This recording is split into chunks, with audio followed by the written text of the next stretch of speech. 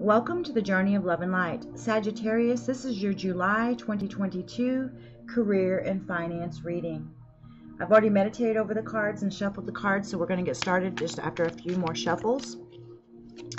If you like this reading, don't forget to like the reading and subscribe to the channel as it helps me know that I should continue to do these readings uh, for the collective.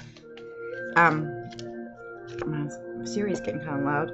Um, the first card out is the Five of Cups. Next card out is the Ace of Swords. Next card out is, excuse me, the Three of um, Swords in reverse. Now remember, this is a career and finance reading, even this is looking a little lovish. The Chariot, forward motion, and um, the Four of Swords.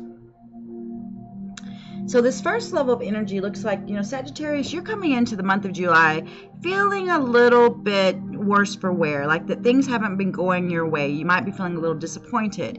But know that there is some new fresh start coming as a result of some new truth.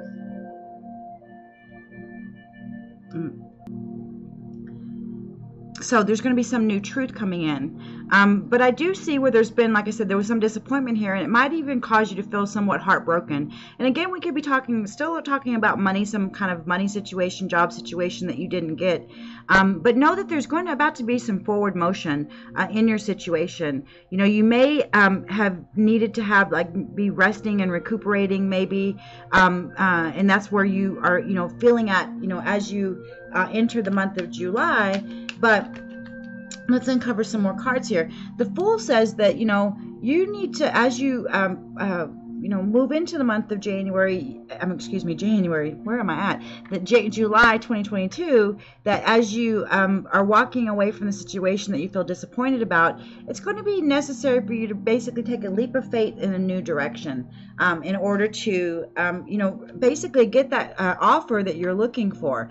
Because, you know, he, you know, here is, you know, this page of coins here, you know, has some sort of financial offer uh, for you. And ultimately, this is some new um, situation that's going to be coming to you um, that is uh, going to bring a lot of financial abundance. So, whatever you've been disappointed about, whatever didn't work out for you, that was the divine intervening because there was something better that was coming for you, Sagittarius.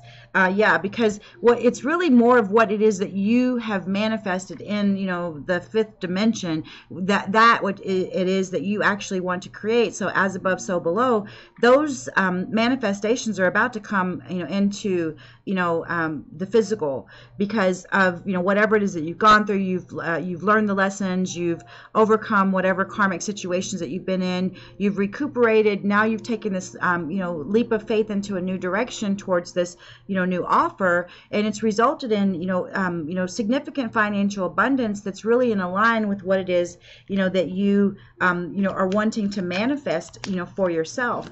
And um, this final card coming out here, the Emperor says that, you know, you're going to feel, you know, that, you know, like everything's, you know, hitting on all cylinders. Basically, you know, all your needs are met, all your financial needs are met. It's got you feeling, you know, um, you know, satisfied, you know, uh, emotionally, mentally, and, you know, ultimately, let's continue here. Um, it it's going to give you you know a um, lot of offer you know a lot of options um, you know you're going to be spoiled for choice as a result of you know this financial um, uh, uh, well-being that you encounter and you know the the uh, feminine energy the queen of wands here um, uh, uh, feminine fire energy says that you know it's really going to be birthing you know even more you know opportunities for you so know that um, you know you are sitting pretty you have you know a stable financial um, solid future ahead of you.